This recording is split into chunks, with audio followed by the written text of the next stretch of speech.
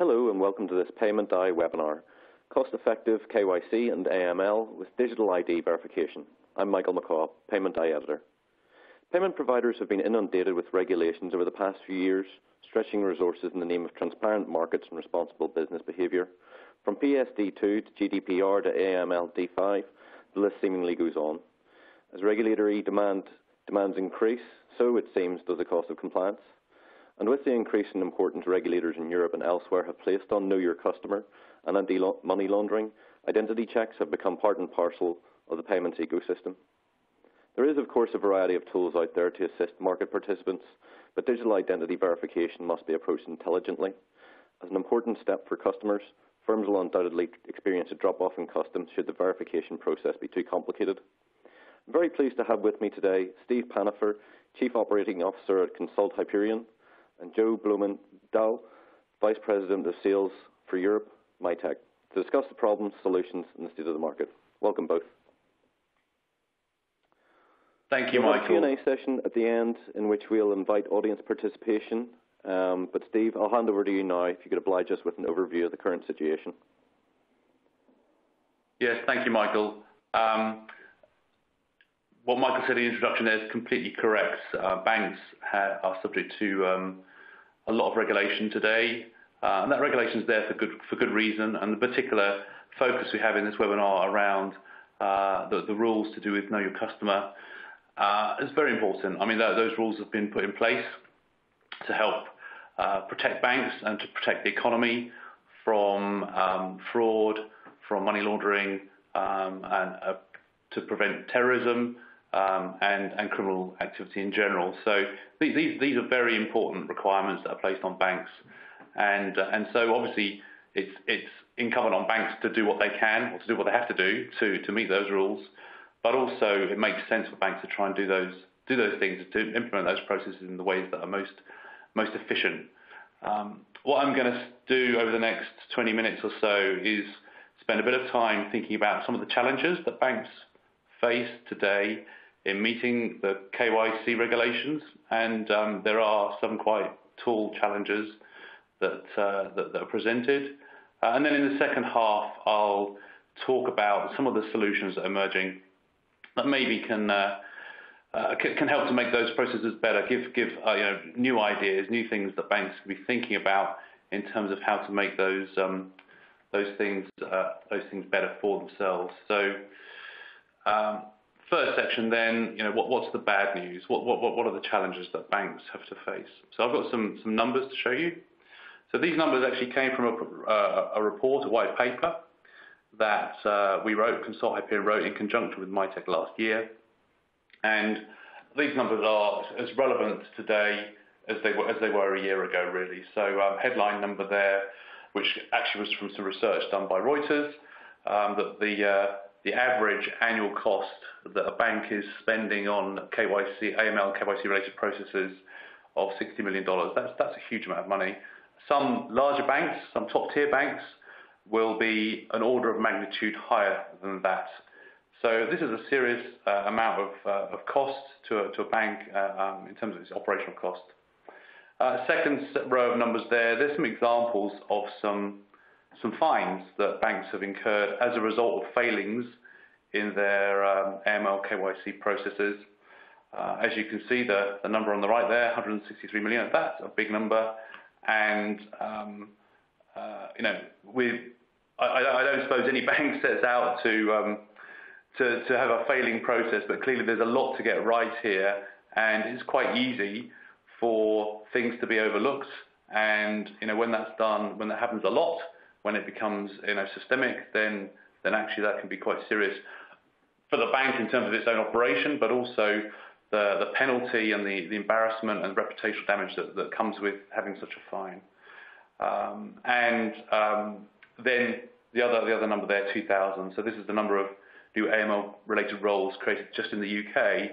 Um, a couple of years ago, um, this is the number that we quoted last year. And you think of the cost of 2,000 people to just meet regulatory requirement. This is, this is not providing new business to the bank. It's not increasing the bank's top line. It's just about um, keeping the bank, keeping the lights on. in the bank. So that's a huge number. And the other thing I should say, actually, is this, you know, these numbers were were from last year. Has anything changed? Do we still, you know, in the in the last year, has there been any significant improvement in, in Uh, the overall sort of landscape of how banks are dealing with KYC? Well, I don't think there has been necessarily. And for those of you that um, have been uh, keeping a keen eye on the press, I mean, not particularly keen eye, but actually just keeping an eye on the press, we'll, be well aware of the big story that broke on Monday uh, to do with, in the Financial Times, to do with a potential, I say potential because I don't think anything's been proven yet, but an investigation from the Financial Times suggesting a very large um, uh, uh, money laundering um, uh, issue with a bank in Europe. And um, we'll have to see how that plays out. If the if the investigation from the Financial Times is true, then I think we could see you know, a substantial penalty and fine coming coming to that that particular financial institution in the future. Even in the last few days, its share price has dropped. I'm not naming them because, I mean, I could, but it's there in the press. But at the moment, it's a story. Um, obviously, what needs to happen next is that the proper authorities need to go investigate and determine what's happened in that particular case. But this is a very real issue, and it's something that banks need to be extremely mindful of. Um, okay, so then the costs to a bank, you know, there, there's the raw numbers, which I've painted and given you a flavor of. Uh, there are lots of other issues that um, affect and create challenges for banks as well. So I've got four things that I've I've um I've pulled out here. KYC, as I've you know explained, is very important regulation that banks need to comply with, but it's one of many things that compliance officers are having to deal with. And so the question is, how do they get enough focus on this compared to the whole raft of other things? And Michael, at the beginning, talked through some of those other regulations that are coming down the line and the banks having to deal with at the moment. That's a big issue. Um, in some of the changes that are going on with uh, AML KYC regulations, there's um, the introduction or the increase of the sort of personal accountability and personal responsibility that senior managers will have. Um, so this, obviously, is a challenge to those individuals, but what it also means is it becomes harder to recruit people into those positions because those have to be people that are prepared to take on that level of uh, accountability and responsibility. Um, the processes are increasing in complexity. They're not getting simpler.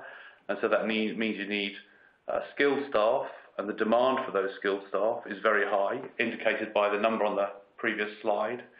Uh, so again, the cost and difficulty of building teams up to implement those processes is a challenge.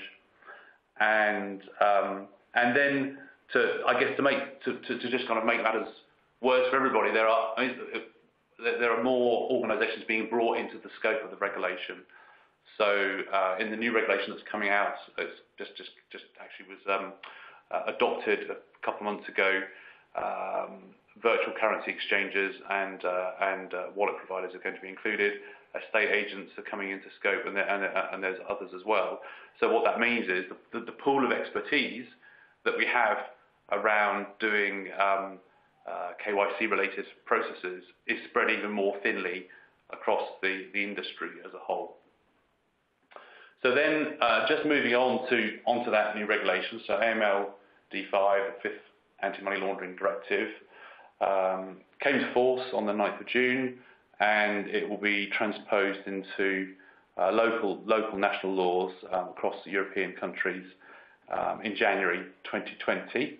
So that means between now and then, the uh, national countries, uh, the states, will be in the process of implementing and building that into their own laws. What that means is banks, in the meantime, and other financial institutions that fall into the scope of this regulation need to be preparing uh, and need to be getting ready for what the law will be uh, from 2020 onwards. Uh, and in terms of the scope of of what that what that directive does, um, there's kind of you can bucket things in three ways. So there's more checks, in other words, more of what you're doing today. There are um, greater sanctions if you get things wrong. and uh, there are some new organizations that are being included, which I've just touched on earlier. Um, so just to pick up on a couple of things here then, um, uh, I guess probably one of the biggest things that a lot of people are talking about is uh, beneficial ownership. So in terms of more checks, so think of an SME or a business opening a bank account. Um, what a bank has to do, they have to do checks, due diligence checks on that organization, uh, but then they also need to do due diligence checks on um, the beneficial owners of that organization. And who is the beneficial owner of a company, for example? Well, it might be the shareholders, and there are limits determining 25% ownership. That's the sort of limit. Above that level of ownership, um, you need to have uh, due diligence checks done on those individuals. Um, but sometimes the ownership is indirect. So the ownership might be via a shell company, or it might be via a trust fund. Um, and you have to go back to the actual beneficial owner, not the kind of nominal owner that sits in the middle. Uh, and that can mean Uh, quite a complex, difficult bit of research to figure out actually what is the state of this, who actually does own this entity. Uh, and then having worked out who owns that entity, um, going and doing the necessary checks on them. And those people you know, might live in a completely different country. Um, they might live in a in an environment where you don't have access to the normal tools that you would use to perform um, customer due diligence on on an individual. And so it can become um, you know, very rapidly quite a costly, difficult difficult exercise. And that's, I think, why we're seeing um, you know, so many people being employed in this space at at the moment now, because up until this point in time, the tools to do those things automatically haven't existed. The data that you need to um, be able to do some kind of automatic checks maybe haven't existed. And also things like uh, machine learning, data analytics that can provide sophisticated ways of using the data uh, and perhaps um, dealing with things like discrepancies between data in an automated way haven't existed. But that's all coming um, and is kind of what we're about to move on to in terms of the presentation. Um, the other thing to just point out uh, probably is that the middle column here in terms of the greater sanctions. I've mentioned this already, the fines that are going to be um, potentially levied on failing organizations here are going to be substantial. I mean, you know, we're talking um, uh, possibly you know, in an extreme case, uh, 10% of gross turnover. That's you know, that's an enormous number.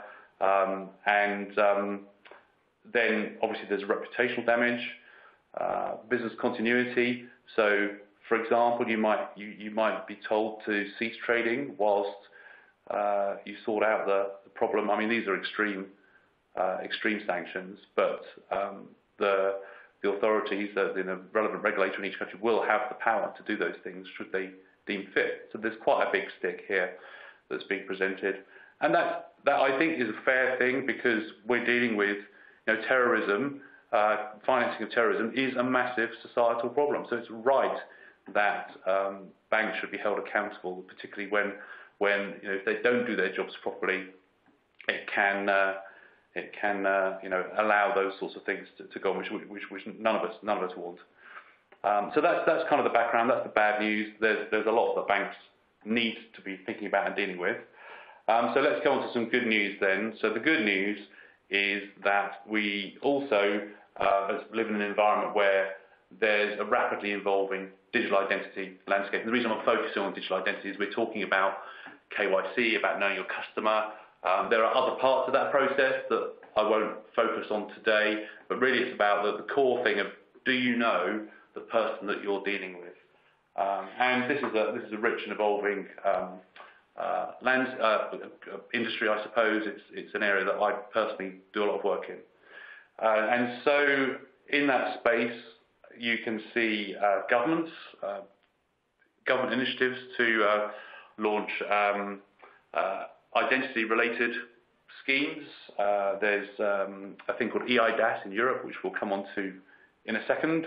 Outside of Europe, various countries are undertaking initiatives to create identity schemes. Some of those are um, uh, government-issued uh, identities. Some of them involve the government working with, uh, collaborating with the private sector, um, and indeed, in some cases, collaborating with banks to create portable identities that allow people in a secure and robust way to take their identity to a bank rather than to, um, uh, you know, a bank has to work it out every time.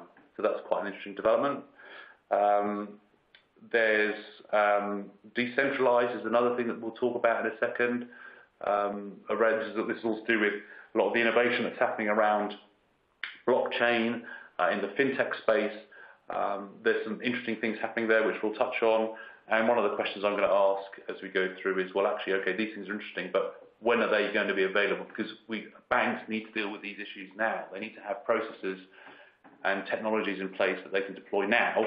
Um, and so we'll, we'll, we'll, just think about that in a, in a minute. Um, okay, so the first uh, example that I wanted to just talk about was, was EIDAS. So in Europe, we have, um, I mean, EIDAS is, is like the flagship European Union identity initiative. Uh, it's about getting EU-wide adoption of digital identity.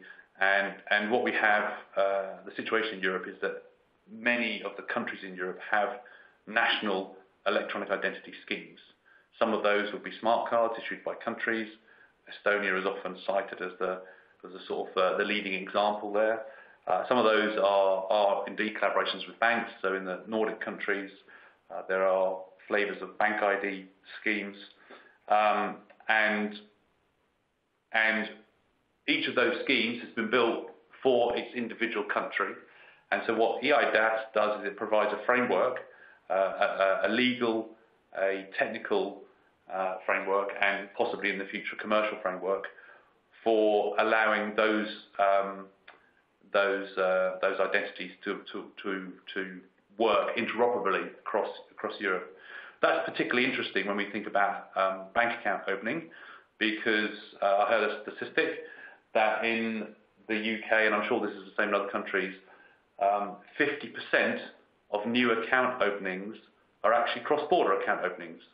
So if you think about who's opening new accounts, well, it will be um, young people, people going off to university within the country, uh, and then there'll be people moving into the country, or in the case of uh, the UK, perhaps moving out of the country at the moment. So, um, uh, but it, it, it's, a, it's, a, it's a researched fact that 50% uh, of those new account openings are cross-border. So having a mechanism to enable cross-border identity is, is, is quite interesting.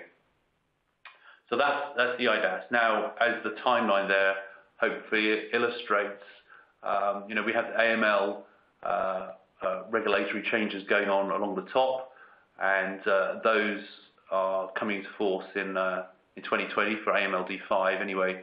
And and when we look at the the maturity of the EIDAS um, framework and the schemes being kind of being joined into that, uh, it's it's it's a it's a long, slow-moving project. So the basic framework, the basic technology for a government to be able to accept an identity from another country, that's that's going to be in place this month. Actually, it, it probably is mostly in place already, but the the, the deadline was by this month.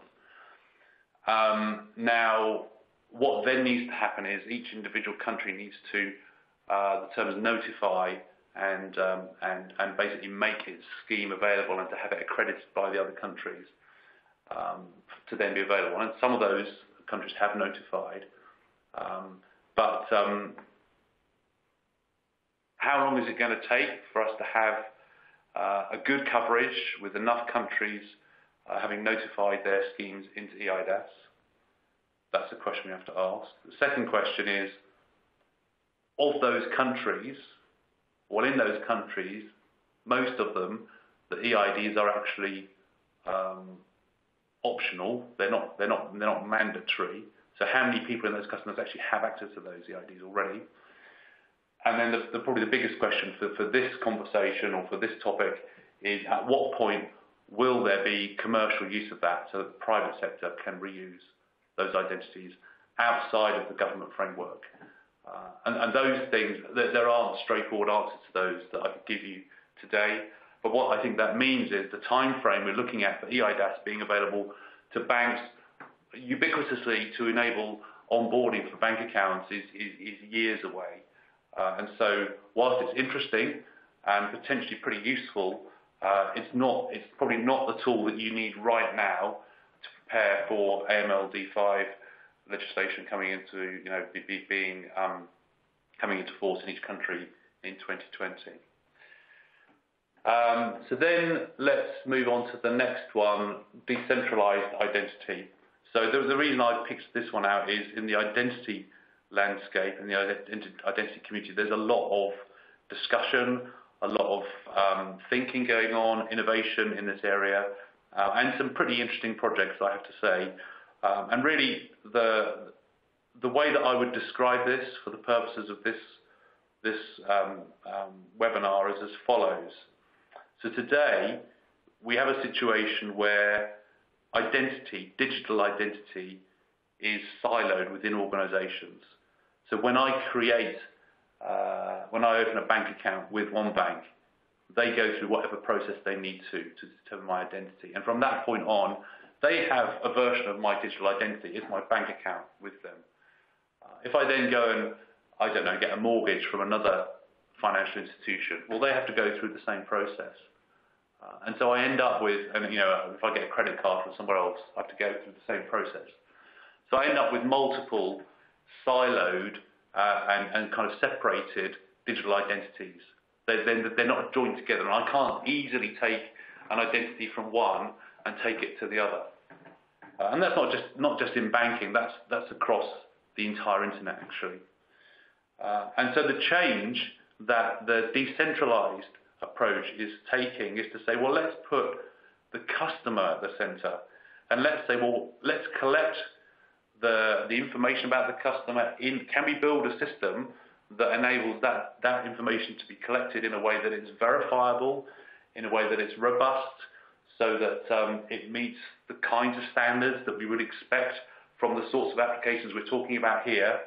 Um, but because it's because it's collected around the individual, I then have something that's portable. It's not, I have the the kind of repository of my identity. So then when I go to a new financial institution, I could say, and they say, well, who are you? I could say, well, this is me. Here I am. And I have all the digital evidence I need to give you. This is the uh, uh, objective of um, the sort of decentralized identity approach. And the ways that that is being delivered is through a combination of um, kind of personal data vault kind of technology in conjunction with distributed ledger technology. So this is all really interesting. Um, the other thing that it provides as well, because of the blockchain element, is the potential to have a high degree of provenance around the data. You can see maybe not maybe not the actual data itself, but you can see maybe some uh, a record of how that identity was used over time, which obviously is quite useful if you're thinking about um, uh, trying to identify identities that are fabricated, so synthetic identities, for example. If you're trying to find out identities that maybe have been compromised in some way, that could be quite interesting. So there's a lot of interesting stuff going on in this particular space. What's the timeframe for it? I would say, even with the the leading initiatives for this to be um, available wide-scale, you know, ubiquitously for banks to use for the sorts of things we're asking the question about today, my guess is five to ten years. Um, I mean, I'm a great supporter of a lot of the work that's being done here. I think it's fantastic, but it's just not the practical thing that we need right now. So that brings us on to the third thing I wanted to just talk about uh, briefly, which is mobile technology.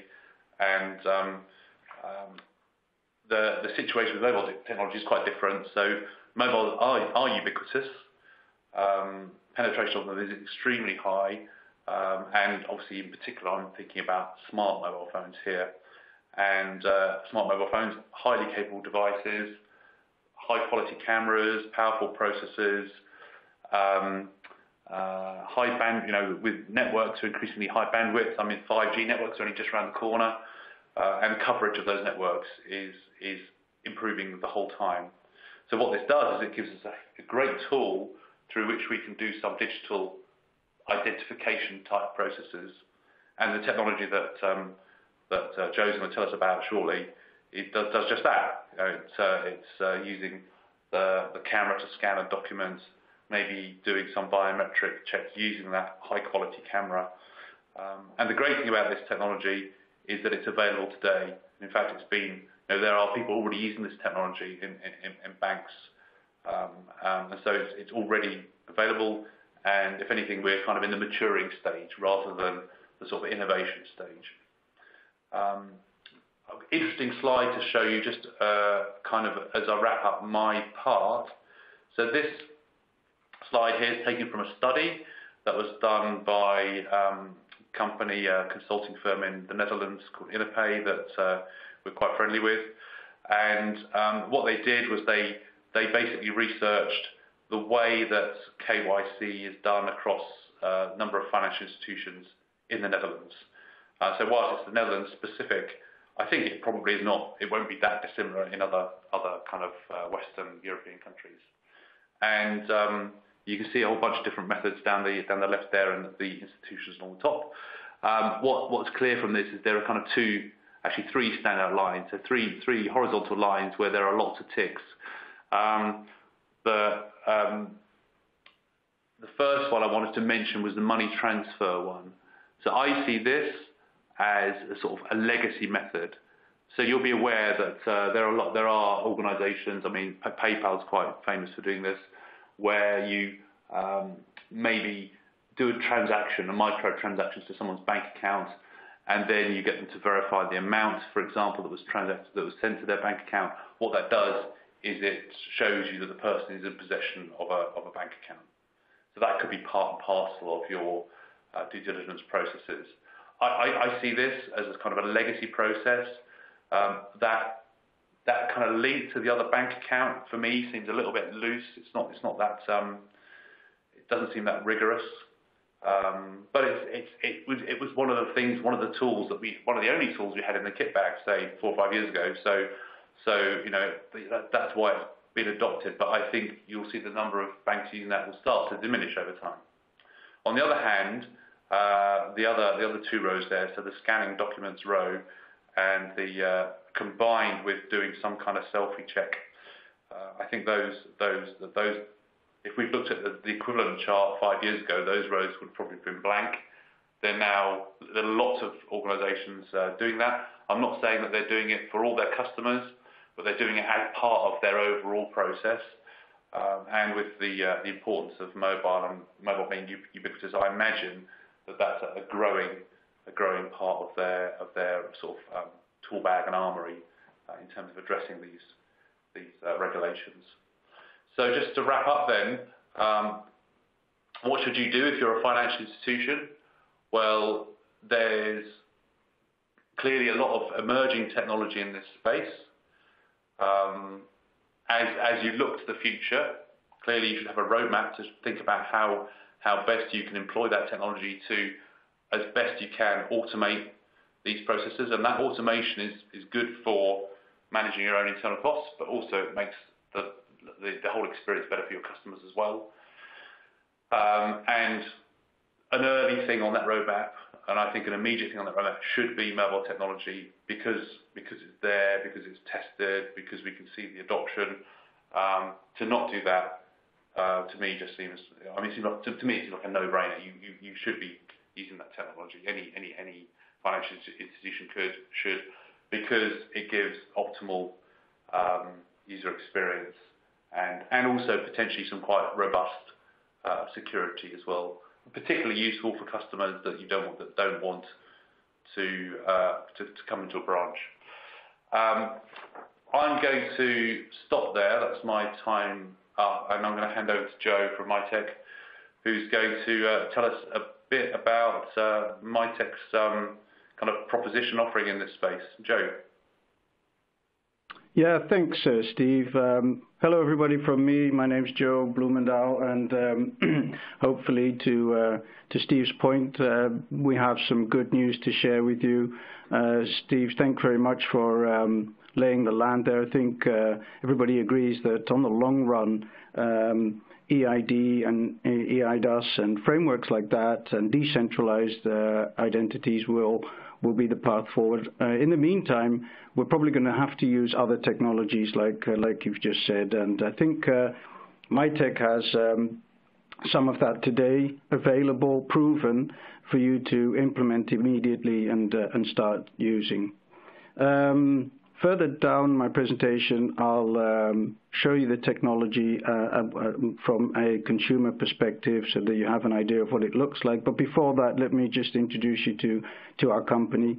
Mitek is a, is a global leader in digital identity verification, and specifically in, in the mobile space. So that, that's what we're exceptionally good at. And uh, we're a NASDAQ listed company. We're the only Nasdaq listed company in uh, with this technology in this space, and that means that we are very often seen as a, a very reliable uh, and strong partner to work with, specifically by banks and financial institutions. Obviously, everything is transparent, so you can see we are a very healthy, uh, profitable company. We do have a global presence, um, which is helpful if you are a large international company, but the local offices in San Diego, Amsterdam, uh, Barcelona, and throughout um, Europe um, do service uh, in-country clients as well.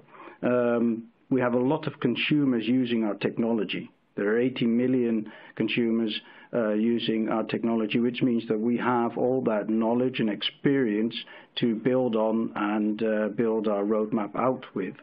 Uh, we have document experts working for us uh, for many, many years up and, uh, to border control level, uh, and that helps us understand where we should be in front of the fraudsters and how we can, can stay ahead of them and there's a lot of financial institutions relying on our technology, more than 6,000 today, which means that, for instance, in North America, um, uh, 10 out of 10 largest banks uh, use Mitek's technology and trust us. So just wrapping up a bit on Steve's points, what are, what are the key drivers really behind the technology? What what keeps uh, keeps us up at night and gets us out of bed to go back to work? Well, there are a couple of key drivers. There's obviously the regulatory pressure that is building, the terrorism, identity fraud, globalization, all the keywords that we see have changed the landscape. Also the fact, like Steve said, that uh, any average bank, 50% of the new bank account openings are from abroad. So um, that regulatory pressure is, is building and there, we need solutions to to uh, solve those problems. And then obviously the digital natives have high expectations around um, uh, the user experience. I mean, I'm ordering an Uber or I'm booking a room through uh, through Airbnb, and I want to open a bank account. So why would that take seven days and involve paper-based uh, processes? But also think of the digital transformation. Um, um, uh, the world is getting smaller. Um, regula regulation is not just local anymore. Um, we need um, technology that will help us uh, improve and and, uh, and digitize the processes we have today. And the economic pressure, the economic advantages from using dig digital um, uh, technology is is quite apparent as well. You can reduce costs uh, on the acquisition of, of new clients, um, and you can improve the return on the equity, and, and and really still today in many ways create a competitive edge if you implement it well. So to bring it up to a bit of a bit higher level, let's have a quick look at um, really what do we have. Uh, I think Steve talked a bit about uh, what we don't have and what the problems are, uh, but what we do have, what we do all have is a governmental issued identity document. Um, on that, we have information that we need in an AML and in a KYC process. So Mitek has become the expert in bridging the gap from the physical world uh, through mobile channel into the digital world. If you look at current methods of verifying somebody's identity, that could involve face-to-face -face interaction, which really means um, get out of the chair, go outside, get in the car, drive to an office or a branch, and then there's face-to-face interaction there. Alternatively, we could rely, uh, you could rely on data from credit bureaus um, or uh, KBAs. And we all know that with the breaches lately, not just in Europe but across the world, that type of uh, technology or that type of data is, is, is far less reliable than maybe five or ten years ago. So being able to go back and say, well, I, I want to use a, um, a, a, much better source, a physical source, um, seems like the, a good way forward. But that's not extremely easy, obviously, because you need to be able to capture that information and you need to be able to process it. Um, and that's where our product, Mitek's product, Mobile Verify, um, uh, comes into play. Um, really two things that you would want to do. Uh, you want a seamless and frictionless user experience.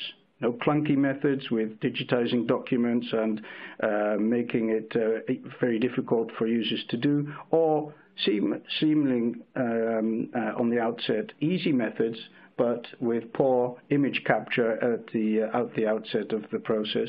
Uh, and then when, once we've captured an image, and not just identity documents, but bear in mind we need to also prove that Joe is actually, actually uploading his own document, um, we need to be able to process those images and we need to verify the authenticity of the identity document as well as um, do an anti-impersonation check so that I know that I've uploaded, um, the bank knows that I've uploaded my own, uh, my own document. Now really, we've very often been positioned as a fraud prevention tool, which we are, obviously. That's what we're going to help banks and financial institutions, but also beyond that, uh, marketplaces, um, uh, uh, uh peer-to-peer -peer service providers um, prevent fraud. But in many cases, we are an enabler. So we can help you say yes to more good customers. Because really, that's the 99.9% of the population is just, well, is just uh, are genuine people like you and I who want to get through a process, a red tape process, as quickly and as easily as we can. So the key message is, can we get these people through the process quickly and frictionless so that you can onboard them and welcome them as a new uh, as a new client. Hence, decrease abandonment. Because we can see, Steve mentioned the number of 20, 25%, I think, but I've seen processes, and I'll be honest, that's maybe two or three years ago, initial processes in digitization where abandonment rates of 70 to 75% were not uncommon. So only three out of 10 that attempted to get through the process actually got through the process. And obviously that's, that's not a good experience, but also not a good investment. Um, we want to replace uh, or augment outdated methods.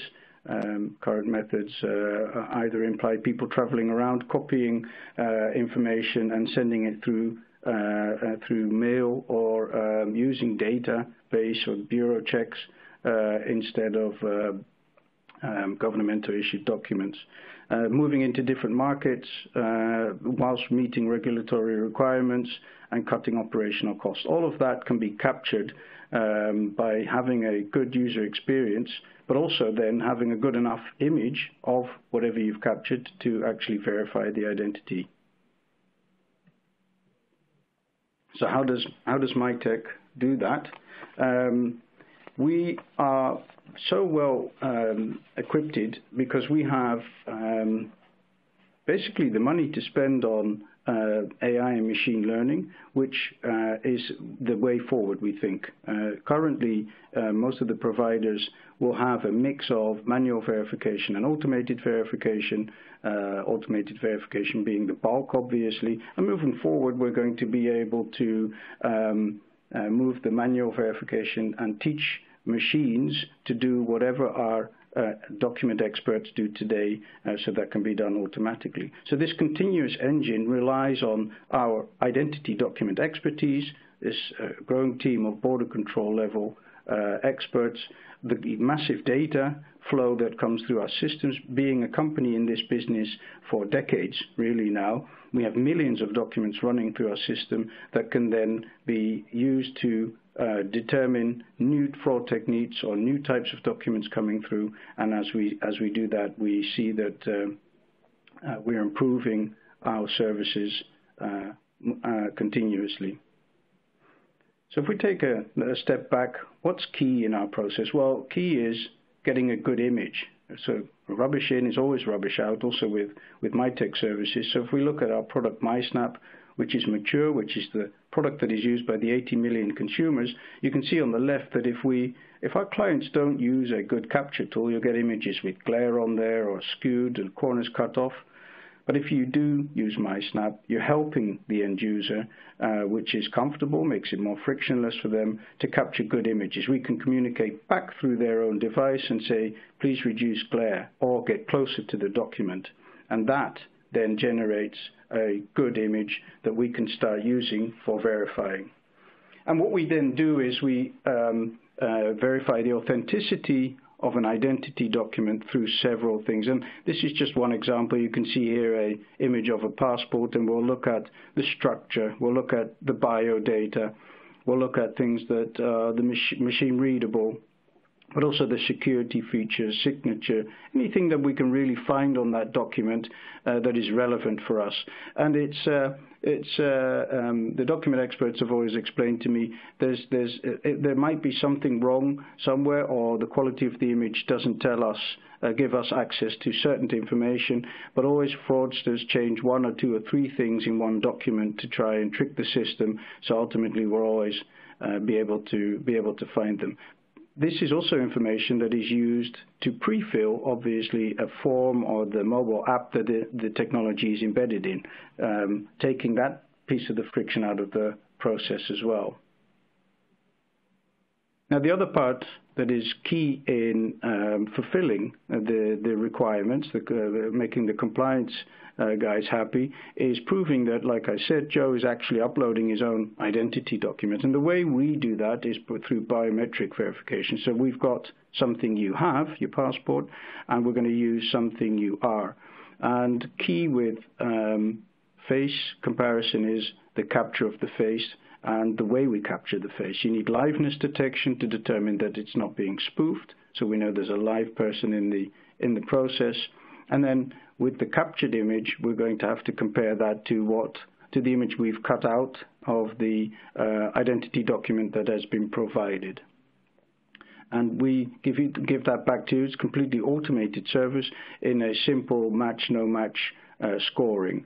Um, and then combined with the scoring on the identity document, that will give you a, a good indication of um, am I uh, um, am I talking to or going to onboard the person who they say they uh, are. So have a, let's have a look at a, couple of use cases, how this has been implemented live. Uh, like Steve said, we're more in the in the maturing phase of of of this uh, type of technology. It's not just uh, startup and, and and discovery. Uh, there are real-life examples out there. A good one is a company uh, based out of the Netherlands called Moneyou. And Moneyou was founded um, um, quite some time ago as a fully digital bank. And being a completely digital bank, hence having don't not having any branches, means that they needed to onboard their new customers uh, digitally, but also anytime and anywhere they are. So they chose to partner with uh, Mitek, and they in, in, uh, integrated Mobile Verify into their app and that allowed them to capture the information like we just saw and capture their face. And with that, uh, Moneyou was able to start onboarding their uh, their clients. Initially, they had a paper-based process, but with uh, with Mitek's technology, we could cut down the uh, onboarding process to to minutes instead of days. Um, and they could access their accounts now much more easily and quicker than uh, than before. And today, Moneyou is still a uh, a, very successful bank, uh, growing beyond the borders of the Netherlands, and we're growing with them uh, in that direction. A different story is a company called uh, called Knox. Uh, they're a leading uh, digital payments platform based on, on blockchain technology. Um, and, and, obviously they wanted a safe and compliant onboarding experience, not, not because they're regulated, well they will be, start becoming regulated now, but because trust and safety in their world is, uh, is a very, very uh, uh, strong requirement as well. And they had grown their manual review team, in-house review team, uh, trying to keep up, especially late last year with the growing demand. Uh, and ultimately, once they called us, their uh, onboarding took 12 hours or more. At some point, we were up to 20 hours on, on their side, and they knew we need to outsource this. We need specialists to help us with this. So they, they implemented Mobile Verify and asked them to start using that technology. Um, and within um, within a very short time uh, frame, Knox could uh, start onboarding people who, instead of the 12, 15 hours, now in five minutes.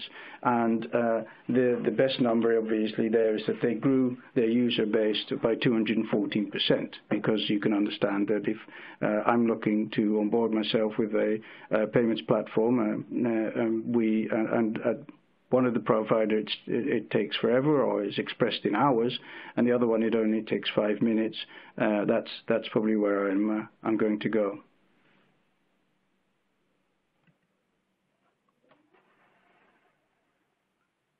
And here's what our technology looks like in um, in real life. Obviously, Mitek doesn't sell apps. We sell technology that you embed. And if you look at the screen now, you can see how our capture technology works in real. This is MiSnap.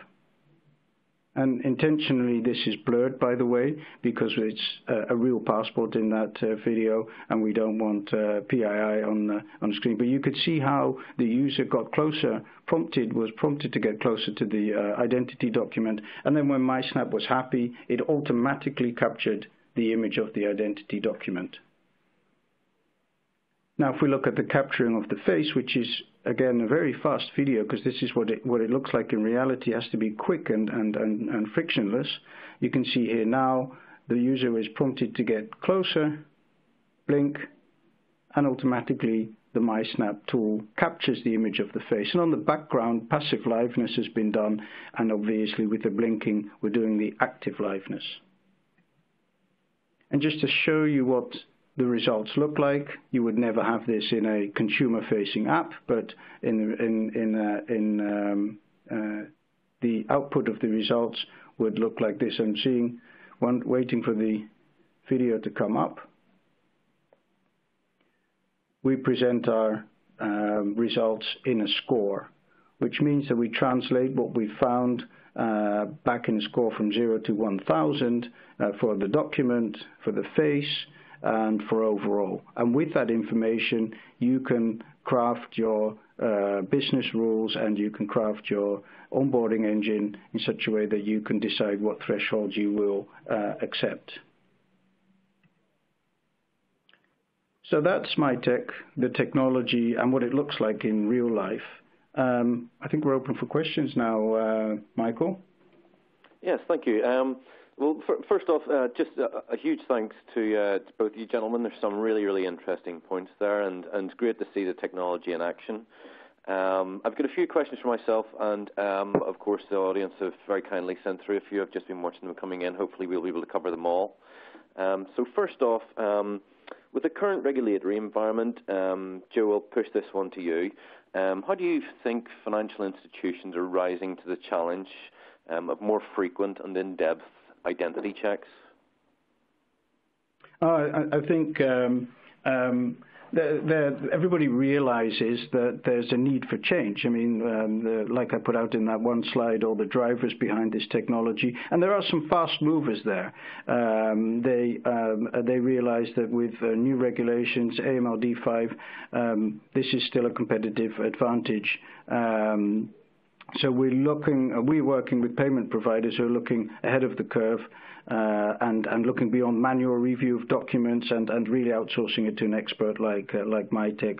Um, um, but there's also on the other end, there are still companies out there that are not doing this. So um, we, I really think that some of them are not rising to the challenge and potentially are going to uh, be behind at some point soon, uh, which means that uh, a catch-up will be more difficult. Imagine that catch-up process would be quite uh, uh, quite cumbersome. Steve, what, what are your thoughts there?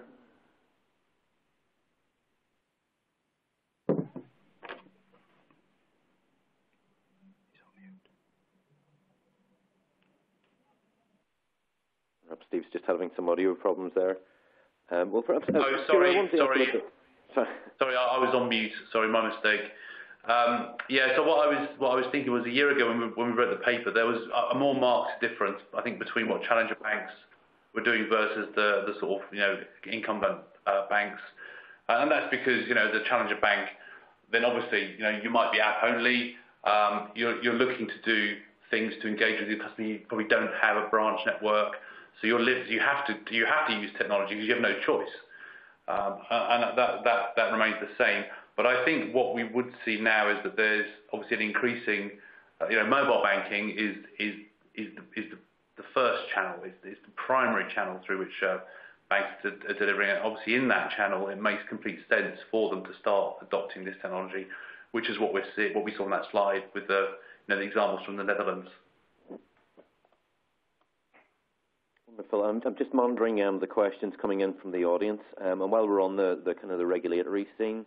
Um, uh, I've seen one just popping in there. Um, how much engagement do you have with regulatory authorities such as central banks to support your MiSnap app acceptance?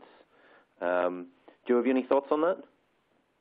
Yes, good question. Um, we don't interact with them directly. Only in one or two cases we've been uh, we've been contacted by regulator by, by regulators in countries, and in a handful of cases we've been in front of them presenting our technology. But we, as a standalone company, do not have to be compliant. We help our clients become compliant. So the path and the conversations with uh, regulators is always with with with clients or with people with companies that are trying to become compliant uh, have to interpret the legislation and and, and the directives and uh, take us along to have that conversation and support them from a technology perspective. It's an interesting place in the market.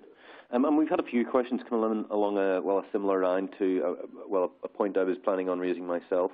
So, so onboarding aside, excuse me, uh, what are some of the other use cases you've seen for digital ID verification, Joe? Um, well, onboarding is, is one of the bigger drivers, although um, verification and authentication obviously is coming is coming closer and closer together. So we see uh, other use cases where re-verification, uh, uh, consumers, customers who have forgotten their passport or um, trying to log on too many times, uh, they might be the rightful owner of an account and they need to be re-verified and, and our technology is well suited to do that. And also we're, now we're talking about regulated space, but think of, of the, of the uh, trust space as I sometimes call it. So um, um, where we have companies in the sharing space, I'll be uh, looking to uh, rent your car or rent a room in your house for a period of time. And there's a similar challenge to what banks have have, um, but now it's driven more by trust. I'd like to know who's going to use my car, and uh, and our technology obviously is uh, uh, quite well suited to cater for that as well. Excellent. And uh, Steve, just a, just a few points that you made earlier, um, kind of about the drivers um, towards this type of technology. So is it really the threat of negative outcomes like fines from regulators that are actually driving change for financial institutions? And uh, just to go a step further than that, um, how much of the industry is driven by fear of bad outcomes? Well, yeah, interesting question. I mean, I think um, the, the, fines and the sanctions certainly make people sit up and listen. And, and we've had a case, uh, a customer of ours, uh, an organisation that's taken action in the last year, fairly significant action in terms of reviewing what they do uh, in direct response to something they've seen happen to another organisation. So I think you know, that, that's just one example, but it's an anecdote to show that there are there there, there are um, financial institutions out there who who are concerned that they don't want to be the next one that's you know in the press. Um, aside from the the, the, the, the cost of a fine. Um, the other thing I would say as well is that regulation, obviously, as I was pointing out, eats up a lot of budget. And actually, banks don't want to be, you know, they want to be innovative. They want to be developing new products. They don't want to be spending all of their time uh, dealing with, with regulation. That, does, that doesn't help them to grow their businesses. So, so I think what new technology does is it provides a route to deal with that regulation more efficiently allowing them then to focus on the things that are more important to them as a business. In other words, responding to customer demand, being uh, an organisation that you know that, that, addresses the needs of their customers in a in a in a in a relevant and um, engaging way. Mm. That's a, that's a great way of putting it. Um, Joe, Joe, have any thoughts there? Yeah, I think on the on the other side of the maybe the other side of the coin, uh, um, um, we talk to um, uh, groups in, within our clients uh, who obviously, like um, Steve say, are very concerned. But the other side is um, if we if there's technology that can help um, um, get a great user experience in place, then they're very interested. So that's that's maybe another driver. They, they really see the new regulations as an opportunity to be ahead of the market and uh, and maybe dig into new uh, user groups or in, uh, be able to um, uh, operate across borders without having to have brick and mortar there. So uh, at Mitek we like to think that it's not just a hurdle, uh, but it could it could definitely with good technology be an opportunity um, to, to fully optimize the digital experience. And of course, it would be remiss of us to, to, to speak of, um, well, any type of technology without considering, uh, well, the illegalities or the criminal side of things. So what kind of fraud attempts have you seen uh, trying to get past the ID verification process, Joe? Yeah, maybe you can break it apart in, two worlds. Real fraud, um, so uh, people that uh, doctor a document, change the photo, or, change some type of some uh, piece of the biometric information on there, or the machine readable zone. And the other one is just funny attempts. Really, we've got all sorts of attempts. People that take pictures of something else, maybe their cat, or just just anything lying around on their table, just to see if they can get through uh, get through the process. Uh, one of the funniest ones was where we had somebody who had a handwritten note saying that um, they had a driver's license but couldn't take couldn't find it, and uh, and they just took a picture of, of, of, that handwritten note and sent it in uh, and hoped that that would uh, that that would be sufficient. So we see we see all sorts of uh, uh, things spreading from very organised uh, fraud to people um, not understanding what the process should be and trying to get through with other images and documents. Well, I suppose it's, it's, it's good to try to try different ways of doing things anyway. That's an interesting example. Um, so, and I'm growing wary of time, so we've got about a minute of uh, time left, gentlemen. So, um, can I just sort of round up on the future of things? So, 30 seconds each. Uh, and Steve, we'll go to you first, um, if that's okay. Uh, what do you think the future looks like for identity verification? 30 seconds. Yeah, so I think the future is multifaceted. This is not about finding one particular method that solves all everyone's problems. I think there are a range of methods out there. I come from an from a security background, and we always talk about defence in depth. So the idea that you can you can marsh and bring together different tools uh, and have an approach that's flexible, relevant to your customers' needs, that work in different channels. That's the that's the that's the way to go forwards. And obviously, the technology we've spoken about today, I believe, is is, is definitely should be part of that armory. Wonderful. And Joe. I agree. I mean, the layered approach, that's probably, Steve, what you what you mean, that that is the forward. And if you look into more detail, I think it's going to move towards more biometric verifications that are are less intrusive, or that are faster. Um, uh, things like uh, tracking of micro movements whilst doing the liveness detection on face. I think that's probably going to uh, uh happen. And third fa third factor verification, um, like easier NFC scanning, so using the technology that is out there and in our device and in in our documents uh, more regularly um, is probably going to uh, to uh, emerge more and more in the in the months and years to come. Excellent, great stuff. Gentlemen, uh, just, just to thank you both uh, very much um, for your time today. That's been really, really interesting, really informative, and I, for one, have certainly learned a lot. Um, thank you to our audience for joining us, and we hope to hear from you again uh, sometime soon with Payment Day. Thank you and good day.